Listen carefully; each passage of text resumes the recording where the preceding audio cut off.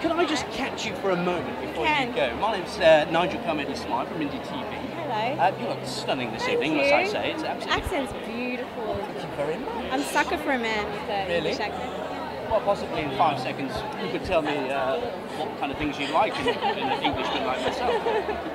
Drinking? Sorry? you all drink really well. We all drink very well. That's quite true.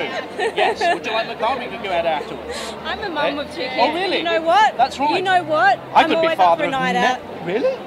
Marvellous. We've done a lovely job. I hope you have a wonderful Thank evening. you. Are you looking forward to the film? Yeah, I am. Yeah. Yeah. Well, maybe later we could get some babysitters sorted Thank and whatever good. and uh, give me a Well, call. mum's at my house, so I'm, I'm free tonight. Oh no, just you. Uh, your mum. No, that, that's fine. Lovely. Have a lovely evening. Nice to speak to you. I think she got confused uh, about her mother and I. Uh,